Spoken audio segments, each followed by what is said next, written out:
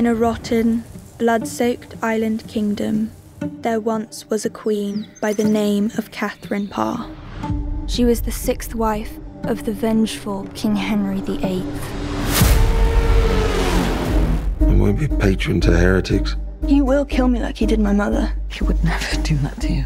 Do you hear me? The five wives who came before her all met untimely ends.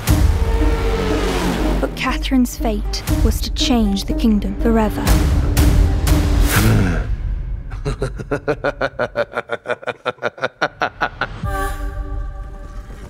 We must rise up and take what is ours. We found Anne preaching to a large group.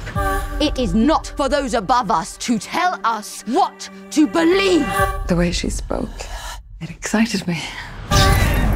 Catherine, I pray no one saw you there that day. I believe that I was chosen by God to get the king to change his will. You have to go. If they find you here, We would have to have their head cut off. I'm sure you would come up with something much more creative. Sometimes we think you know us better than we know ourselves. We trusted you, Catherine. And you're flirting with the radicals. It could endanger the stability of this realm. You don't want any harm to come to me. You don't want to hurt me.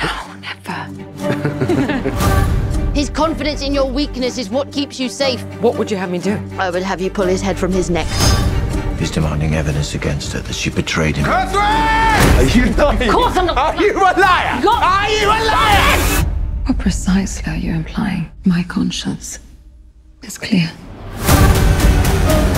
God will never have intended for anything to stand between him and his people. Not a bishop, not a priest, not even a king. Then you will burn. Is she more vicious than all the others? We've been here before. We've been here before. And we cut you down! We cut them down! We cut them down!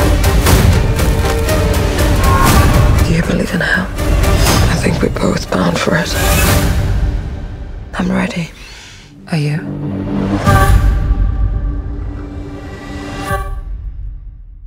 Y no se les olvide apoyar mi proyecto de Chimali, un superhéroe mexicano.